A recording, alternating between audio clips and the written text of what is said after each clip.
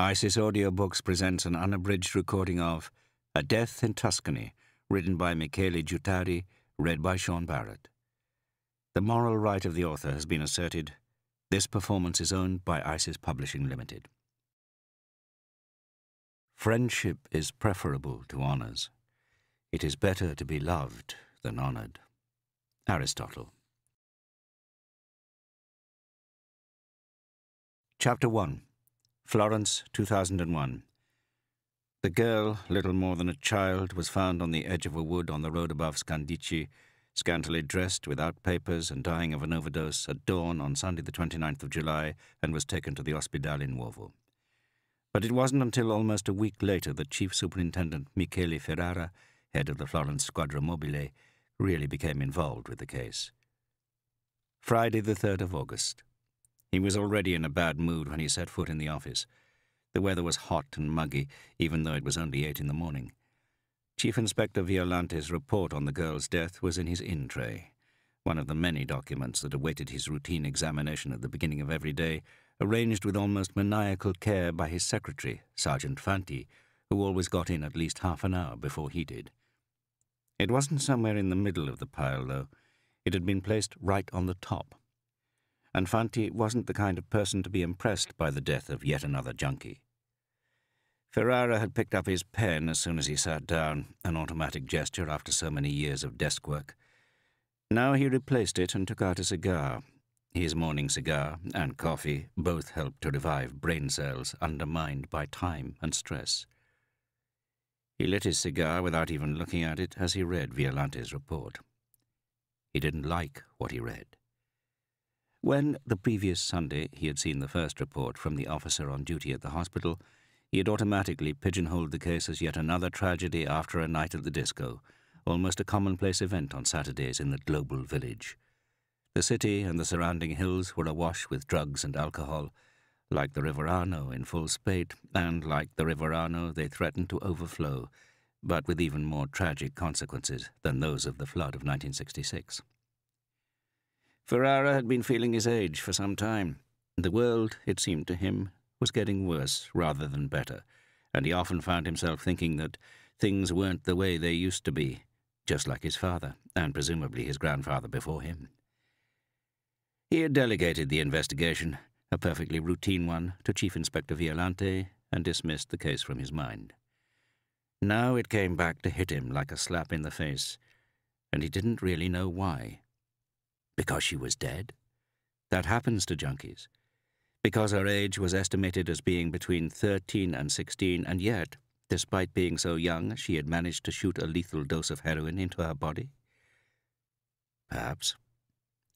Or because, after nearly a week, they still didn't know who she was.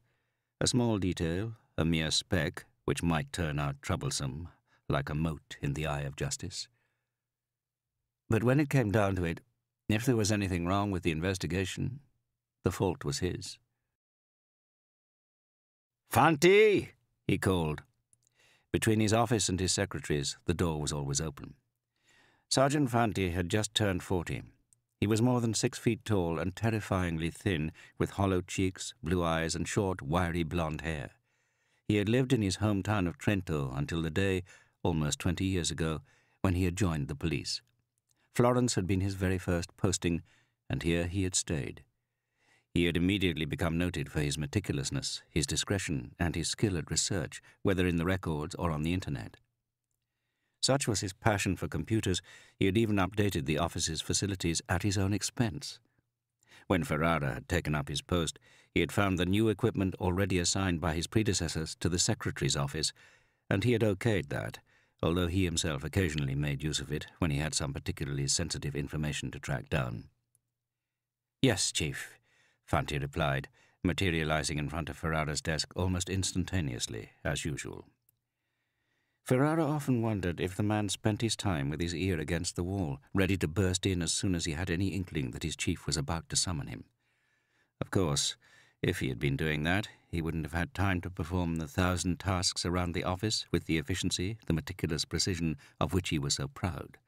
It was by far the tidiest, best functioning office in the whole of Florence Police Headquarters. In the end, Ferrara had come to the conclusion that Fanti had a sixth sense. Well, he asked without a preamble. The sergeant shrugged. It wasn't his job to draw conclusions or make judgments. But it was clear from the look on his face that he'd been expecting exactly this reaction from his boss, and that it didn't surprise him that Ferrara hadn't even opened the other files, or that the cigar had been left in the ashtray to go out by itself.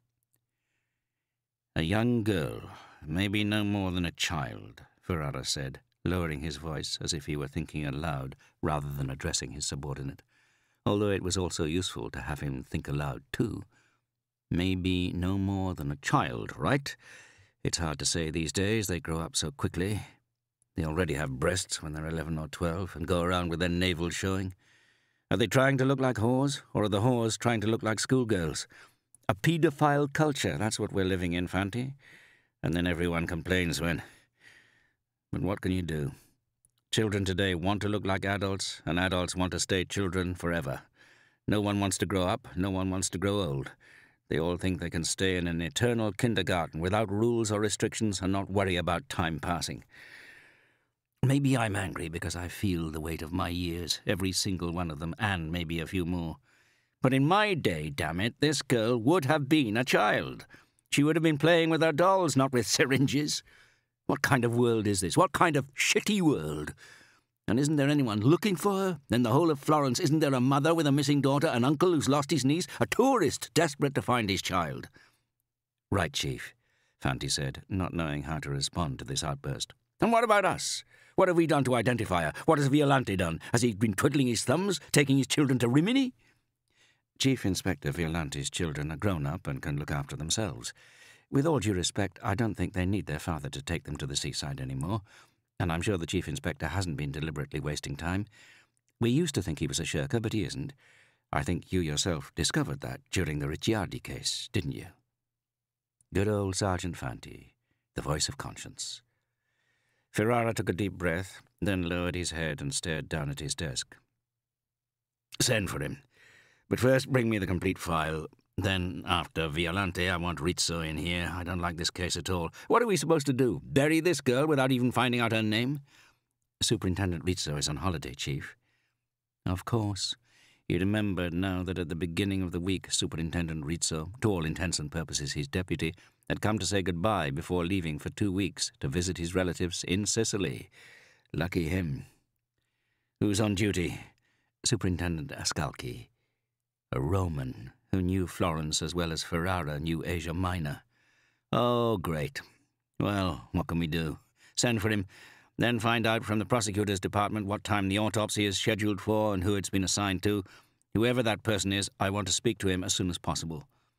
Of course, Chief, Fanti replied, and went back to his office. Like Rizzo, Ferrara was a Sicilian. He had been planning a journey to Sicily for months but each time he'd had to postpone it. While he was waiting, he phoned his wife, Petra, to tell her he wouldn't be home for lunch. He didn't tell her why, there was no need. It was always like this, even in summer, or rather especially in summer, when Ferrara, short-staffed because of his men's holidays, was invariably forced to give up his own.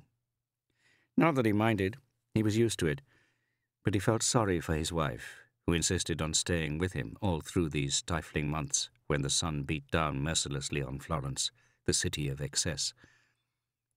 But whenever he told her they wouldn't be going away, she would greet the announcement with a smile as predictable as the infernal heat, and say that she wouldn't have been able to leave home for long anyway, because there'd be no one to water her beloved plants. He would always agree with her. They both knew this was a convenient fiction, because the terrace was equipped with a state-of-the-art irrigation system to ensure that their beautiful roof garden was always properly tended. But that was all right. It made them equal. All right, Michele, but whatever you do, don't go into the office tomorrow and make us miss our weekend at Massimo's as usual. You promised him this time. Don't worry, even if the sky falls, we'll be on that autostrada tomorrow morning before the tailbacks start. I'll take your word for it, and I won't forgive you if. So your dear Massimo takes precedence over everything, does he? Dein lieber Massimo, you mean? Petra replied. In spite of the many years she'd lived in Italy, she sometimes broke into a few words of her native language.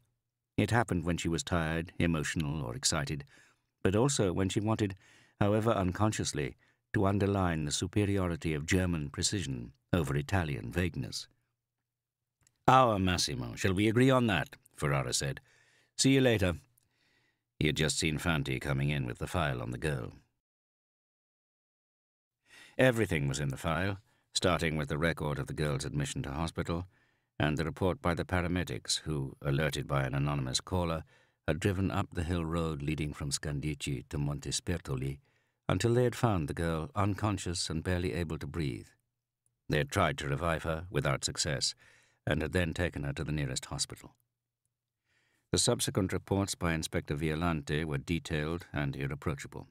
He had examined all the missing persons reports from that period, but none of the descriptions matched. He had also checked the latest bulletin from the ministry, but again without success. He had even gone on the internet and checked the website of a well researched TV program called Has Anyone Seen Them, which was often consulted by the police in relation to missing persons cases. There followed copies of the telegrams marked priority, which Violante had sent to other police forces, with a summary of the case and a description of the girl, appealing for help in identifying her. Attached to the report was a photo he had sent other forces by email. It had been taken in hospital using a digital camera with the permission of the doctors.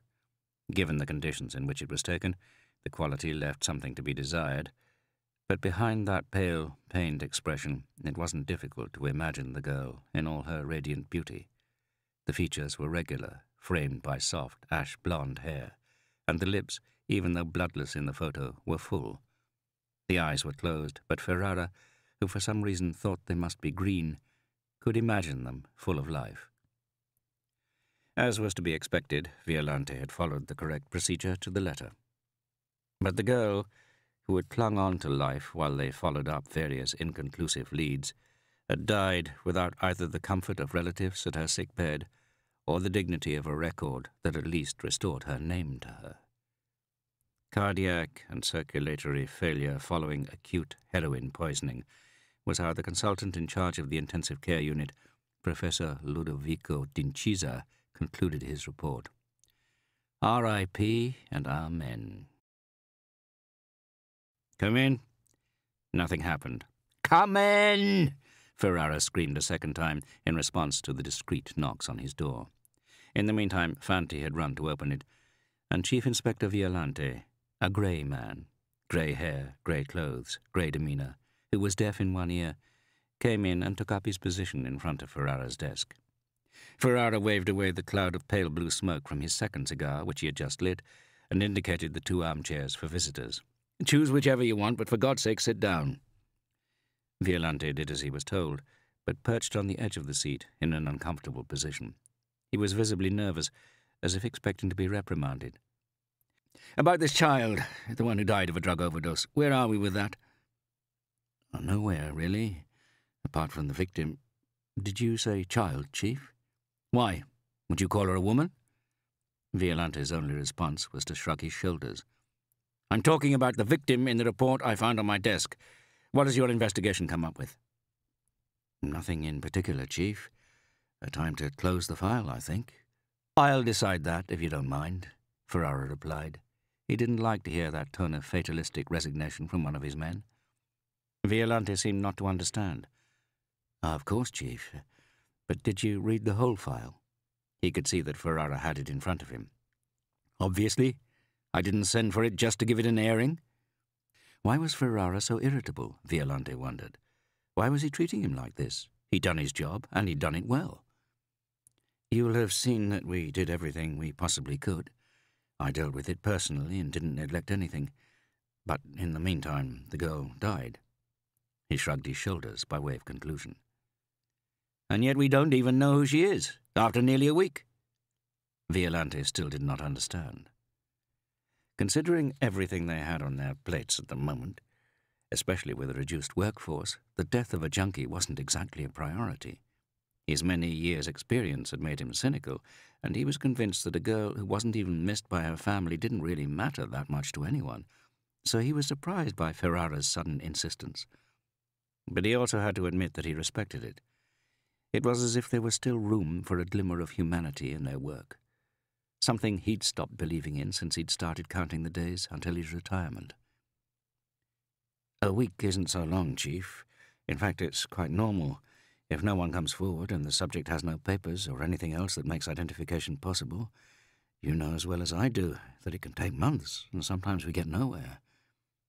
It was true, and Ferrara wondered again why it was that he had reacted so impulsively. He was usually cautious, usually thought long and hard before blowing up. This death might have its curious aspects, but it was hardly unusual in a modern city, and Florence was no different from any other modern city in this respect. Something about the case, though, didn't feel right. What was it? Everything, he thought, fishing out the victim's photo and taking another look at it. The pale face, the closed eyes, the tense, tormented features, heartbreaking in their still childlike beauty. Everything and nothing, as often happens. But he was pig-headed. If his instinct told him something was wrong, then he had to see it through to the end, without thinking too much, at least for the moment. You saw her, he said. How old do you think she was? I'm hoping the autopsy will tell us for certain. Not very old, I'd say. Old enough to be a junkie? Are you asking me, Chief? What do I know about kids today? I didn't understand my own children 20 years ago. All I know is that she died from acute heroin poisoning. That's what's written on the medical certificate. A classic overdose, all too common, unfortunately. Yes, Ferrara admitted. You may be right. Maybe that's the way it was. Just one more statistic for the new millennium. But I don't like it. Do you remember how we used to feel when we went to school and we hadn't done our homework? That's how I feel now. I'm not criticizing your work in any way, but you've been following the case from the start. What are your impressions? For what it's worth, I think the girl was almost certainly an illegal immigrant. That's why no one has come forward. Ferrara nodded. Although it had taken Violante to say it openly, the thought had been lurking at the back of his mind. An illegal immigrant without a family. He refused to believe that her parents hadn't come forward simply because they were afraid of being deported. Besides, a young immigrant doesn't have the time or the inclination or the money to buy drugs. It was much more likely that she was the victim of the international traffic in human beings, which was reaching staggering proportions. The number of children who disappeared each year throughout the world and ended up in the clutches of unscrupulous traffickers was horrifying. From Eastern Europe, he said, looking at the photo again. That's what I thought. Anything else? Violante hesitated. Well? Nothing I can put my finger on. Just an impression. But, all things considered, it doesn't matter, believe me. What do you mean, all things considered? You know what I mean. An illegal immigrant. Violante replied with the air of resigned indifference people use to talk about subjects they'd prefer to sweep under the carpet. Yes, he knew what Violante meant. An unidentified illegal immigrant who died of a drug overdose was like a rubbish bag, ready to be collected and placed in the appropriate pile. On one side, those who matter and are talked about in the press and on TV, and on the other, all the rest, whose records no one will ever consult. In other words, this was a case to be concluded without any fuss and without causing the Commissioner any needless worry, because as everyone knew, he had plenty of other things on his plate. That was the explanation for Violante's resigned attitude. No, Ferrara replied calmly, without jumping down his throat again. This time, I don't know. Tell me your impressions, and let me draw my own conclusions, okay? Okay, Chief, but the thing is... Well, I don't really know. It's the hospital. There's something strange going on there. What do you mean? It's as if... As if once they found out no one was coming forward, they just dropped her. I mean, as if they didn't really take care of her. And now that she's dead, she's become a nuisance, and they're in a hurry to have done with her. Like they wanted to get rid of her as quickly as possible, you know what I mean? Yes, I think I'm starting to. Since she died, they've hurried everything up. Yesterday, my colleague on duty at the hospital even phoned to ask me if I could finish my report as soon as possible, as if we had nothing else to do, as if I'm bone idle. Did he tell you why? He says the consultant asked him, but it seems as if even the prosecutor's department wants to close the case as soon as possible. Why, for God's sake? And why was the consultant in such a hurry? Do you think maybe they could have saved her but made a mistake? Who knows? I'm not a medical expert. But I think something strange is going on. Maybe it's just because it's August. Everyone wants to get off on holiday. They're overworked. They need the beds. The case was hopeless. Especially if she was an illegal immigrant, Ferrara said, and realized he was getting angry again. If there's the slightest suspicion of malpractice, we're not going to let them get away with it, okay? Do you have the medical records? No, I didn't think what?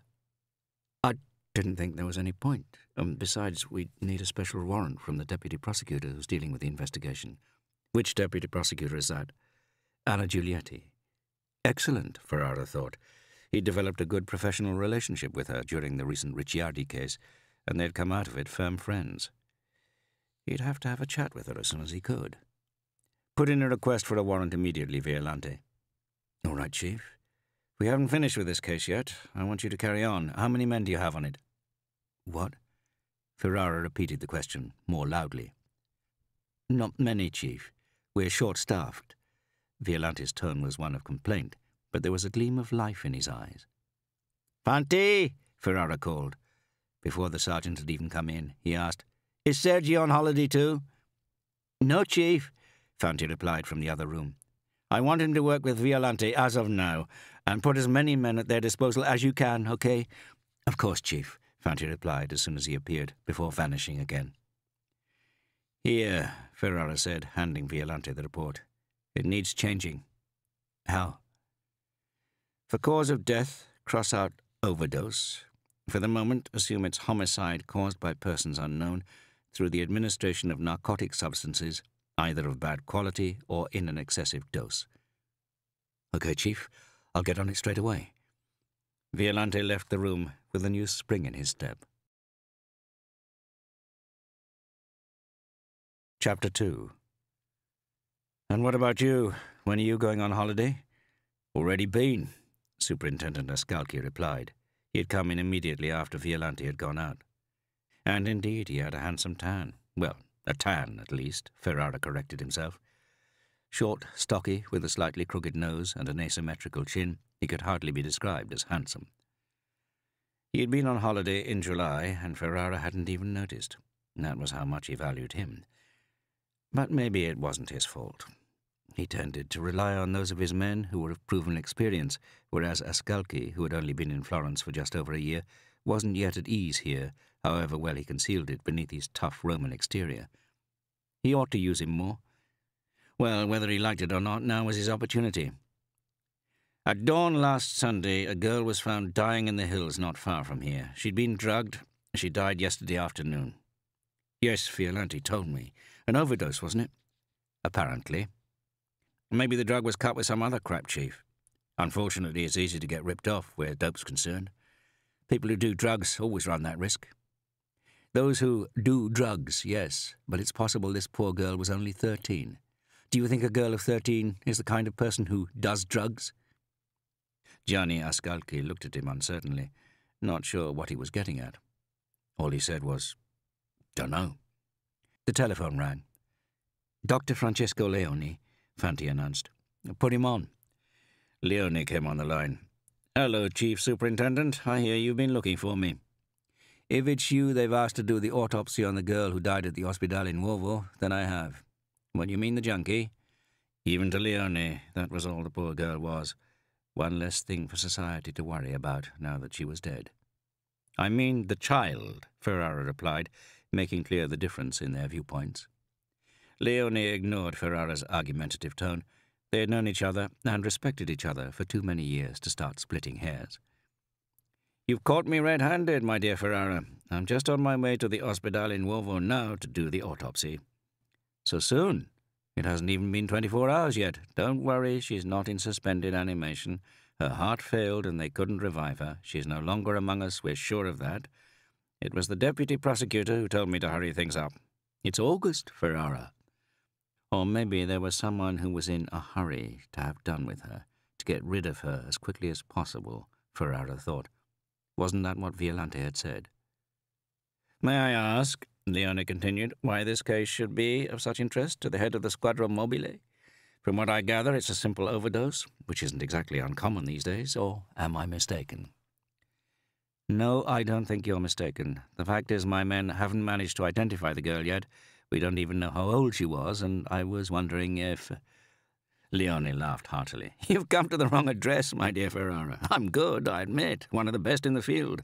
But unless the poor girl swallowed her identity card without chewing it, I don't think I can help you. Names and dates of birth aren't written in the DNA. Why did everyone have to make jokes all the time? What was so funny about a life that had barely begun and had already ended in the morgue? Maybe it was the only way they could live with the most unbearable aspects of their respective professions. But Ferrara wasn't like that. Years spent fighting crime in its various forms had made him feel like an explorer of an underground world which increasingly disturbed the apparently tranquil surface of daily life, a world in which he, like everyone, could easily become trapped. He remembered the words the then Commissioner, Angelo Duranti, had used in welcoming him to Florence as the newly appointed head of the Squadra Mobile. They all used to call Duranti Mephisto because of his gloomy character, but many now missed him.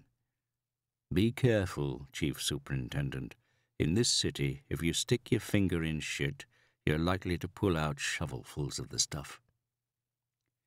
He was still fond of Duranti and visited him every now and then at his house in Liguria, where he was spending his retirement looking at the sea and the Palmaria Islands, Tino and Tinetto, growing fruit trees and writing his memoirs. He was still a great teacher, full of invaluable lessons, not only in how to apply the law, but also in how to negotiate the vagaries of police bureaucracy, as well as, more importantly, those of the human heart. I know that, Ferrara said, after Leone's laughter had subsided. I wouldn't ask that much, even of you. But we suspect she may have been a foreigner, an illegal immigrant, and you might be able to confirm that. Anyway, it's your fault, Doctor. You've got me used to surprises, so I'm expecting you to tell me something I can really use. If she ever had an operation or had dental care, then it's just possible we could find out her nationality. But if you're so interested, why don't you honor us with your presence? It was a provocative question. Leone knew how averse Ferrara had become to such things over the years. It had been ages since he had last attended an autopsy, a thankless task which he preferred to leave to others. Usually it fell to Rizzo, the most trusted of his men. For a moment, Ferrara looked at Ascalchi, who was sitting right there in front of him, but he dropped the idea. He had something else for Ascalchi to do. You say you're on the way to the hospital now? The autopsy room at the hospital morgue, to be precise. Why do you ask? I'll be there in half an hour. Is that okay? Leone gave a long, incredulous whistle.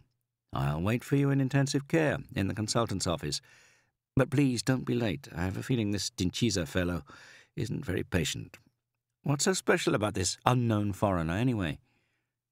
She was young, Ferrara commented laconically, bringing the conversation to a close. Almost a child, don't you think so? he said to Ascalchi, who had been patiently following the conversation to get a better idea of the case.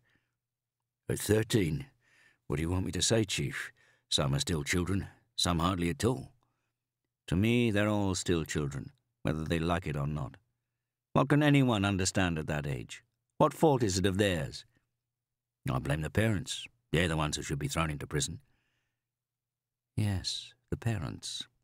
Perhaps this girl's parents had sold her, or perhaps they were still looking for her in some Eastern European country.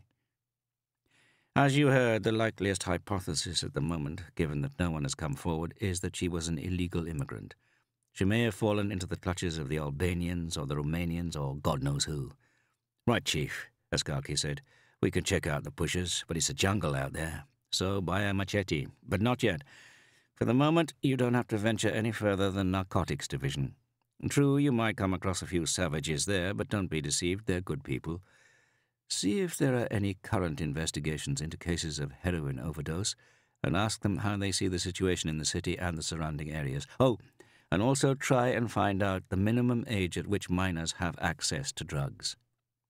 Thinking that Ascalchi hadn't quite understood, he added as he stood up, What age they start, is that clear? I did understand what you meant, Chief, Ascalchi protested, also standing. Narcotics was one of the divisions of the Squadra Mobile and occupied the last four rooms in the corridor on the first floor of police headquarters, the area furthest from prying eyes.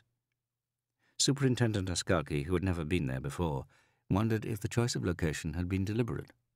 Certainly, the atmosphere was quite different from the rest of the squad, and so were the officers, who were all very young and casually dressed. The men wore earrings, and the women had pierced navels, which they left proudly uncovered. Do you know where Ciuffi is? he asked the first person he saw, a tall, well built guy he wouldn't have liked to meet on a dark night in a street on the outskirts of town. Not even in the centre of town, come to think of it.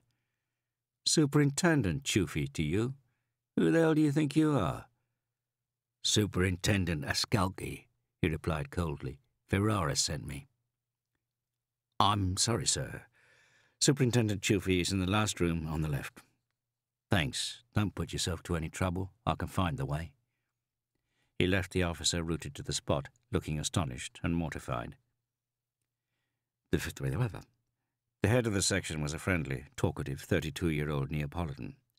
Ferrara had met him in a canteen during a summer seminar organized by the American police, where he had been doing a course on anti-mafia strategies in Italy, and Ciuffi was on a refresher course given by the DEA.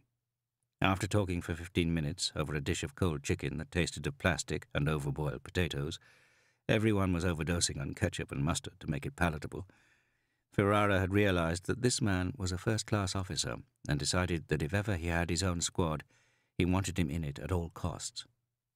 Unlike his colleagues, Ciuffi dressed normally. Ascalchi had only seen him once before, when he had arrived at Florence Police Headquarters for the first time, and Ferrara had introduced him to all his colleagues. Plenty of work, eh? This isn't Rome or Naples, but we aren't lagging far behind, I can tell you. There are lots of drugs around, and it's hard to keep up. We do what we can, as you can see. Ciuffi pointed at the walls, which were covered with posters and newspaper cuttings about the team's most recent operations. A proud record which Ferrara had tolerated because it was an incentive to further improvement. But there aren't that many of us, so what can we do? How many exactly? Twenty in all, more men than women, most of them prepared to go undercover among the dealers. I noticed. I was thinking I should raid the place. Luigi Ciuffi smiled. Real characters, eh? And you didn't see all of them. The best ones we keep in mothballs. Ascalchi didn't envy them. These were men who, when they went undercover, didn't come into the office, and sometimes didn't even see their families for long periods. They were a select few who ran the greatest risks and needed uncommon courage and a really cool head. So Ferrara sent you to help me out, has he? Ciuffi joked. Oh, no, not at all. Quite the opposite. You may be able to help us out. Ciuffi sighed. Don't worry, I got the idea. Okay, shoot. A young girl died of an overdose yesterday. The one in the Ospedale Nuovo. Obviously, as head of narcotics, he had read the initial report from the hospital. Yes. We don't know anything about her yet. What's your interest? We need to know if you're investigating any cases of heroin overdose where the stuff is either too pure or it's been cut with something harmful. Affirmative. A lot of them? Yes, we've had a sudden rush of them. Not that there weren't any before, of course there were. They weren't so frequent, and they were almost always relative overdoses. What we're getting now are a lot of absolute overdoses from heroin cut with starch, talcum powder, sometimes strychnine, the usual things, you know. There have been six cases in the last two months alone. Deputy Prosecutor Erminia Cosenza is in overall charge of the investigation. Hold on, I don't quite follow. What's all this about relative and absolute overdoses? Luigi Ciuffi seemed pleased to have a chance to show off his expertise to a colleague. An absolute overdose is caused by the consumption of a dose, pure or cut, that's above general tolerance levels. A relative overdose is caused by the consumption of a dose higher than the particular tolerance level of a specific individual, and that can depend on a number of factors. Ascalchi ignored his colleague's somewhat didactic tone. So, in cases of absolute overdose, the dose would be fatal for anyone, whereas in cases of relative overdose, only for some and not for others. Precisely. And what we're getting in Florence at the moment is a lot of absolute overdoses. How do you explain that? The likeliest explanation is that there's a gang war going on for control of the territory. Between who?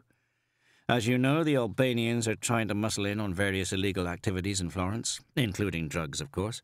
I don't mean soft drugs, hashish, marijuana. They've been in absolute control there for some time. I'm talking about heroin, cocaine, amphetamine, crack, the whole kit and caboodle. Even Ascalchi was aware that Albanian gangs were active in Florence. He knew that for some years now there had been a huge increase in the number of prostitutes from Eastern Europe. The traditional figure of the pimp was on the way out, replaced by specialized groups who recruited women abroad, smuggled them into Italy, and once they had arrived, forced them into prostitution. The groups were well organized, efficient, highly feared, extremely violent, and determined.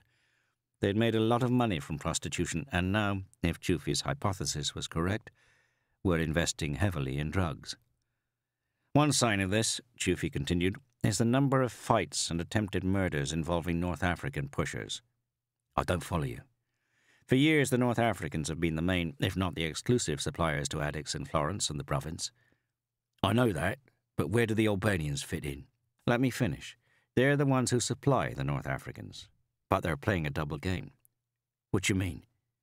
They're trying to lose them their customers.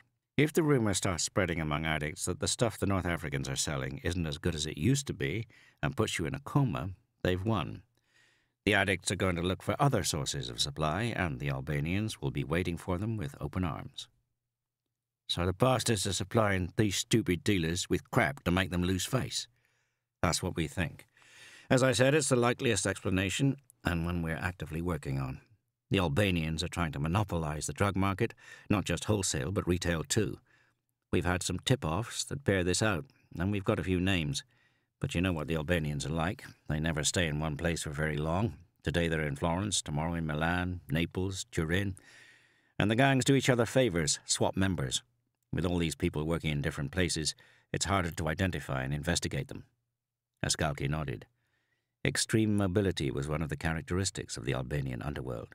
The traditional methods of surveillance didn't work anymore. Most of the time, no sooner had you located one of the criminals than you lost all trace of him because the Albanians rarely used the same means of transport or the same telephones twice.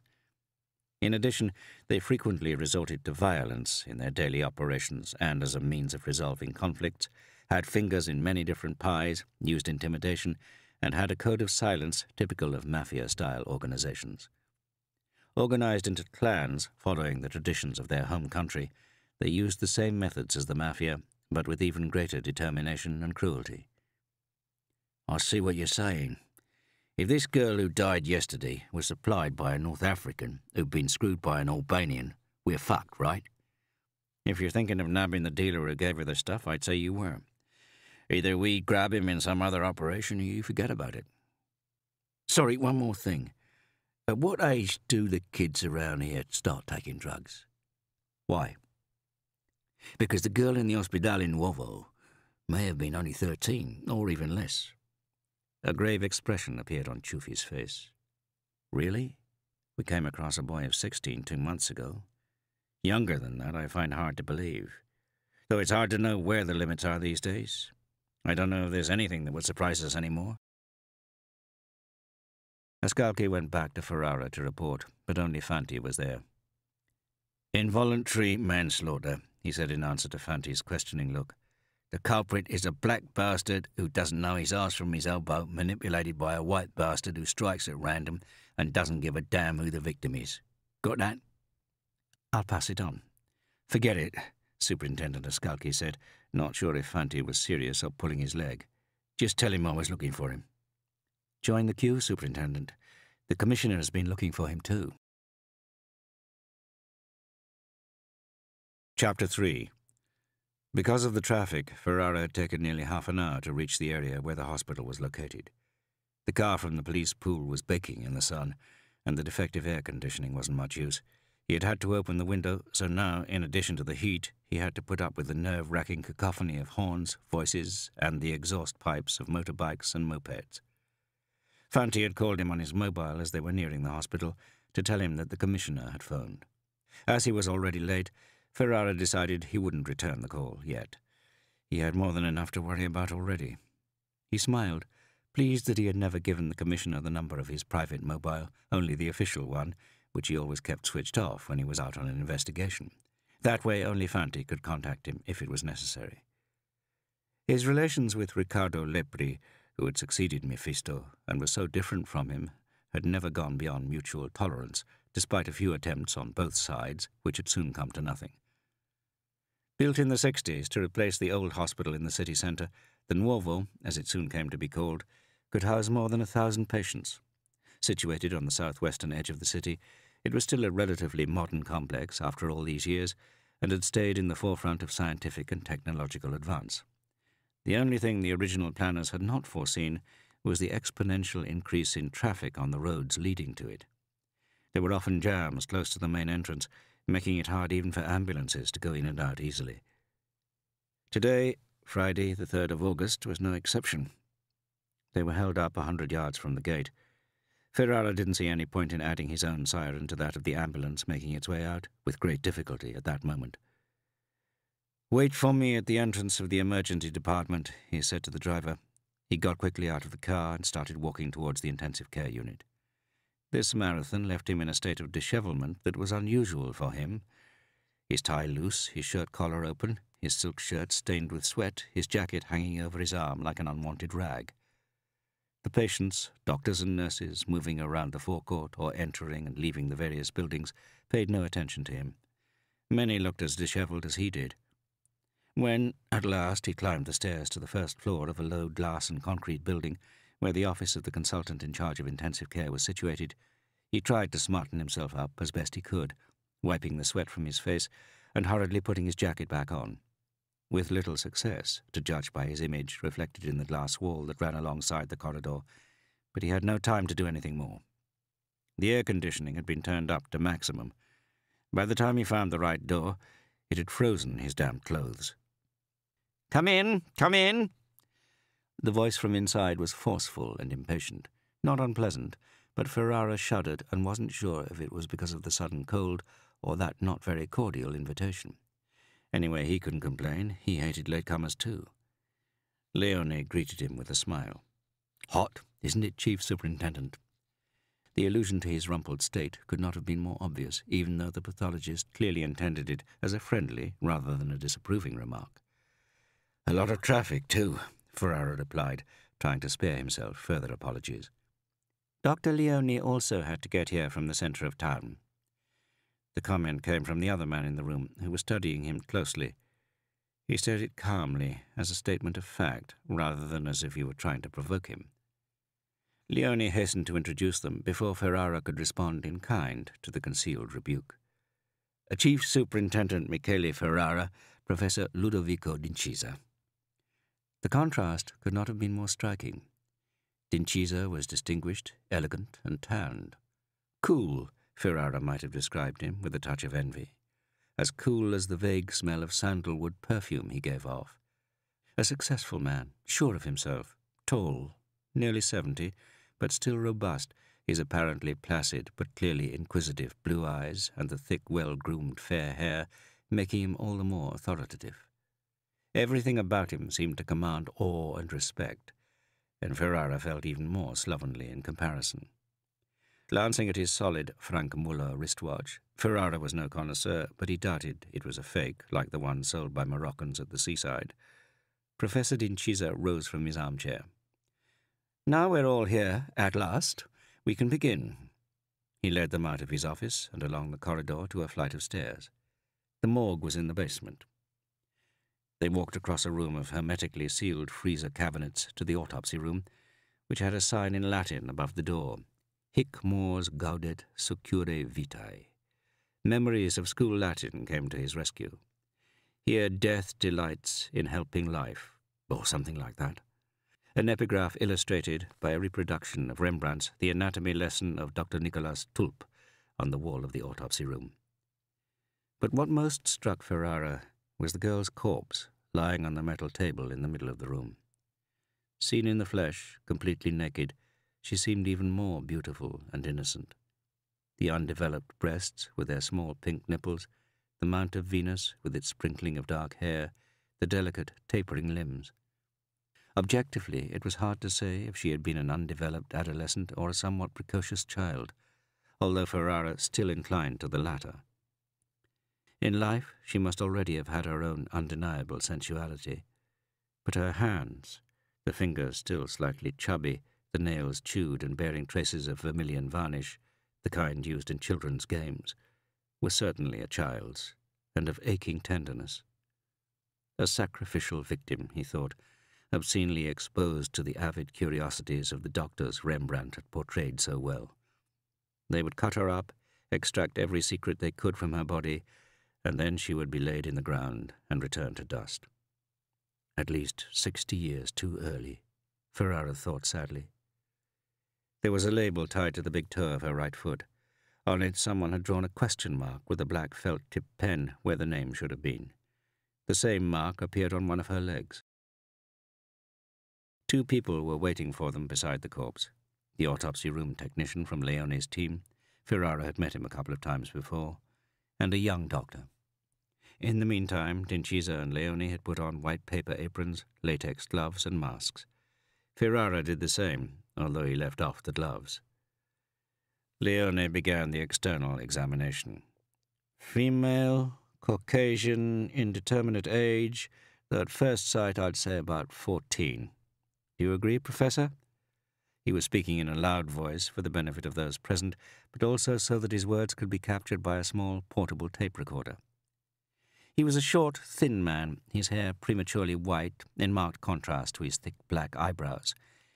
He wore big, round, steel rimmed glasses, which stood out on his long, hollow, perennially tanned face. I wouldn't like to hazard a guess, Professor D'Incisa replied cautiously. Well, it doesn't matter for the moment, Leone said, as he opened the corpse's mouth to study the teeth. When we have the results of the bone density tests, we'll be able to make a good stab at it. But the teeth suggest she's probably at least 14, but no older than 16, which confirms the previous hypothesis that she was between 13 and 16. The body measures 146 centimeters. There are no external signs of lesions, contusions, or blows. The state of nutrition appears to be within the normal range for her height and weight. He looked carefully at both arms. There are no obvious marks to indicate the use of syringes, apart from those which can be attributed to the drip she was on and the blood tests that were taken in the hospital. Can you confirm that? Of course. I would add, though, that when she arrived here, she did have one or two marks. That was why we did blood and urine tests, which showed the presence of morphine, the fundamental metabolite of heroin. Yes. It seemed to Ferrara that Leone hesitated for a moment, lost in thought. I'd say it was very likely she died of an overdose, but I'd be curious to know if she was a habitual user. We should be able to ascertain that from an examination of her hair, liver, and bile. The professor nodded in agreement. It was clear that he wasn't really interested. He had treated a case of overdose, and provided this was demonstrated, anything else was for others to speculate about. Leone went on to examine the hands and feet. Nothing under the fingernails or toenails, no mould, no hard particles. Isn't that strange, considering where she was found? Ferrara asked. Leone shrugged. Hard to say. We don't know how she got there or what she did there. D'Incisa agreed, throwing Ferrara a reproving glance, as if annoyed by this untimely interruption from a layman. Francesco Leone moved to the genital organs. He looked closely at the labia majora, frowned, and thrust a finger into the vagina. The hymen is broken and, unless tests prove otherwise, already atrophied. What does that mean? Ferrara asked, at the risk of further antagonizing D'Incisa that she hasn't been a virgin for some time, Leone replied. Contrary to popular belief, the hymen doesn't disappear after the first act of sexual intercourse, or even after the succeeding ones.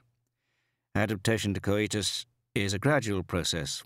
Eventually, the hymen atrophies, as it has in this case, and loses its morphological features. While speaking, he had raised the corpse's pelvis slightly and was now inspecting the anal sphincter. The professor was following his colleague's work with curiosity, although he continued to glance every now and then at his expensive watch. The folds around the anus present traces of discoloration, and despite the rigor mortis, I note that there is a decided loss of tone in the sphincter and some relaxation, which appears to be funnel shaped. In other words, he added for Ferrara's benefit, switching off the tape recorder for a moment, she was entered repeatedly from behind. Does that mean she was raped before she went into a coma? I can't tell you that. As I've already said, there are no signs of violence. Maybe that was the day she stopped being a little saint. Had you noticed this? Ferrara asked D'Incisa. That she was a whore, the professor replied in a contemptuous tone that angered Ferrara. Considering the girl's age, it was not a term he himself would have used. Why should that have concerned us? This unknown girl was brought in showing clear signs of an overdose. We administered Narcan. That's an antidote to opiate poisoning, he said to Ferrara, which confirmed our suspicions, as did all our subsequent tests, as I've already said. The death that occurred after the coma was clearly due to the overdose. I wrote that in the report, and I repeat it now. The rest was none of our business. Not even if she was drugged in order to be abused? Ferrara retorted. Not even then, D'Incisa said firmly. We're doctors, not policemen. Let each of us do our job. The scornful undertone was obvious. Ferrara ignored him and turned to Leone. Is it still possible to find traces of sperm after so many days? He thought he knew the answer, but lacking the technical knowledge, he preferred to make sure. I'm sorry, Professor, but as you yourself said, I have to do my job. I appreciate that. As a matter of fact, it's a sensible question. A patient in a coma is washed and catheterized, and you may well think that would affect any traces of sperm. But it isn't so, is it, Dr. Leone? No, it isn't. The sperm remains in the mucous membrane of the uterus for a long time, and laboratory tests should be able to find it if the girl had complete intercourse without precautions. Does it remain for more than five days? Sometimes more than double that, Chief Superintendent. And given her profession, D'Incisa said dryly, I'd be surprised if there wasn't any, and from different men, too. Perhaps Ferrara was influenced by Violante's suspicions, but he definitely didn't like the man. He wasn't thinking of that, though. He was weighing up other possibilities. The girl had been someone's sex slave. A paedophile had shot her up with heroin to make her docile. She'd been gang raped. Or she'd taken part in one of those parties involving adults and minors, about which there had been persistent rumors in Florence without there being any concrete evidence. There were many possibilities, including the possibility that the girl was just an underage prostitute who'd taken an overdose. D'Incisa was clearly convinced of that, and Leone might also be inclining that way. It was certainly the simplest explanation. But it was too simple. If they could confirm that she wasn't a habitual drug user, it would start to crumble. Once he had finished the external examination, Leone nodded to the technician, a short, stocky man of about fifty, who until now had been standing by the instruments trolley, watching and listening with cool detachment. Now he walked over to the wash basin, picked up a plastic headrest, and fixed it beneath the girl's chin. It was at this point that Ferrara realized he had no desire to be present at the slaughter that was about to begin. Leone would make a Y-shaped incision and open the thorax. Then he would cut open the abdomen, and finally he would pull back the scalp and saw through the cranial vault. Pathologists have a special relationship with death, but he didn't. It had been a while since he'd last been present at an autopsy, and he had got out of the habit. He realized now that he preferred not to reacquire it. I have to go, he said before Leone could proceed. If you have a minute, Professor, I'd like to ask you a few questions before you leave. For the umpteenth time, the consultant looked at his watch. I'm in a bit of a hurry, to tell the truth. He glanced at Leone. Don't worry, Leone said. I'll be quick. It won't take long, Ferrara said. Just a few questions. D'Incisa sighed. All right. This is for you, to pass the time, Leone said to Ferrara as he walked him to the door and handed him a small plastic bag. The dead girl's personal effects. Once he was out in the corridor, Ferrara was assailed with doubts. What if he was barking up the wrong tree? What if this was nothing but the drug related death of a young girl forced into prostitution like millions of others her age all over the world? He sat down on a bench, opened the bag, and took out a pair of dirty, faded blue jeans without any label, a cheap lavender cotton t shirt with a label he didn't recognize, a pair of tacky earrings, too flashy for a child, and a small imitation gold ring set with a piece of purple glass trying to imitate an amethyst. That was all. Apart from three sticks of mint chewing gum in the pockets of the jeans, that, sadly, was the sum total of the dead girl's personal effects. He wondered if Leone had been trying to tell him something by giving him the bag. Had he, too, noticed the curious lack of shoes and underwear? There was no bra, though the girl could have done without it. But there were no knickers either, and it was harder to believe she didn't wear them, whether she was a convent girl or a whore, someone with her papers in order or an illegal immigrant.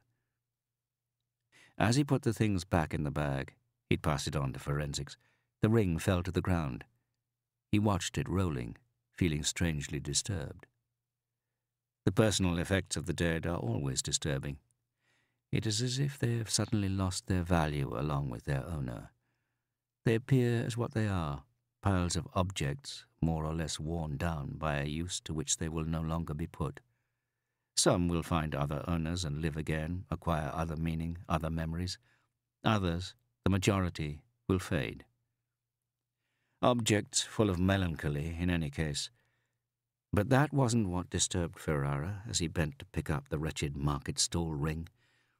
It was the image of the girl reaching out her little hand to choose it from among others, the childish illusions she may have had in her mind as she slipped it on her finger. And there was something else, too, something he couldn't put his finger on, but which gave him the incentive he needed. He phoned headquarters and asked to speak to Ascalchi. I was just about to report to you, Ascalchi began. Never mind, you can tell me later. Now listen, Check with the emergency services and find out the exact spot where they found the girl. Let me know. Then go out there with a few people from forensics. Get Sergi to help you out if he's not busy with Violante, and anyone else who's available. Cordon off the area and give it a thorough going over. I'll join you there as soon as I can. Do you think it's murder? Ascalchi asked in surprise. I don't know, but act as if it is. Is this all above board? Don't worry about that. I'll take responsibility. Are we looking for anything in particular? The usual things, but shoes, bra, and knickers in particular, and condoms. All right, Chief, Ascalchi said unenthusiastically. He hadn't joined the police to be a street cleaner, and if those wooded hills were the way he imagined, the harvest of used condoms would be plentiful. Disgustingly plentiful, he thought with horror. Immediately after, Ferrara called Fanti. Yes, Chief. Find out everything you can about a make of t shirt called Steaua Rosie. He spelled it for him. Have you written that down? Yes, Chief. He rang off and settled down to wait, wondering if he wasn't wasting precious time. But at this stage of an investigation, all leads were equally vague and equally important. Many would turn out to be inconclusive, but none could be ruled out. The one interruption while he waited was a call that Fanti put through.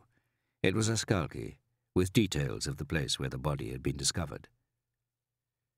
Ferrara did not have to wait as long as he had anticipated. At the first opportunity, as if to prove that he really was in a hurry, Professor D'Incisa emerged from the autopsy room. Ferrara leapt to his feet and joined him. As I promised, this won't take long. Can we talk as we're walking? I have to meet my wife. We're off to Viareggio today, and we're already late. We were hoping to leave early to avoid the traffic. I understand, Ferrara said, walking beside him. The doctor had a rapid, energetic gait. I also have to go somewhere, Marina di Pietrasanta. I'm leaving tomorrow, so I'm in a hurry too, if I want to get through everything today. It's only for the weekend, though. Are you going on holiday? If only. No, I'm taking my wife to our villa, but I'm coming back on Sunday. Our work here is never done. Tell me about it. What did you want to ask me? Was the girl in a coma all the time she was here? Didn't she ever come to, even for a moment? Did she ever speak in her sleep? Did she moan? After we administered Narcan, she started breathing again normally, but that was the only reaction I observed. As far as I know, she never regained consciousness, and I never heard her moan.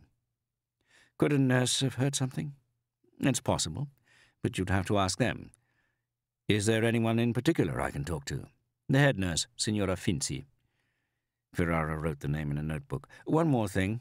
They had left the building and were descending the steps, which led to the reserved parking spaces. Go on. The girl was in a coma for five days. Do you think she was given the care she needed during all that time? Professor D'incisa stopped dead, but did not explode as Ferrara had feared he might. On the contrary, the inflexibility and hostility he had shown him from the start appeared suddenly to thaw, at least as much as a consultant in a large Florentine hospital could thaw. It was as if he had been relieved of a burden. Now I understand. He looked Ferrara straight in the eyes, and after a moment's reflection continued. I give you my word of honor that, while she was under my personal observation, she was treated with the greatest care and attention. Can I guarantee that no errors were committed, not even a small one? No. Obviously, I hoped there weren't, but this is a large hospital and we have a lot of patients. And it is August, Chief Superintendent. You know what that means. You work in a public institution yourself. And you also know how important prestige and reputation are to such an institution. So I'll leave it to you to do as you see fit. For my part, I'll make sure there's an internal inquiry and let you know the results. Have a good weekend. And with that, he unlocked the door of his gunmetal grey Maserati coupe by remote control. Ferrara once again wondered if there had been malpractice. Was that why D'incisa had asked to attend the autopsy, despite being in a hurry to get away to the seaside? And was that why he had pressed for Violante's report to be completed quickly? He stood there watching as the girl pulled out of the parking space and drove away. With him went that sandalwood scent, to be replaced by a vague, pungent, evil odour. Ferrara had put his finger in shit this morning. He was sure of it now. Chapter 4 The road snaked its way around the flank of the hill, which bristled with beeches and brambles on either side. Occasionally, through gaps in the wild undergrowth, he caught a glimpse of the expanse of vineyards and olive groves with their neat, man-made rows. The officers were at work on a spur of beaten earth to the right of the road, which at that point veered sharply to the left, leaving an area of open ground where there was room for four or five cars. Their cars, though, were not parked there, but to the side, taking up part of the narrow provincial road, and two officers. We hope you enjoyed this preview. To continue listening to this audiobook on Google Play Books, use the link in the video description.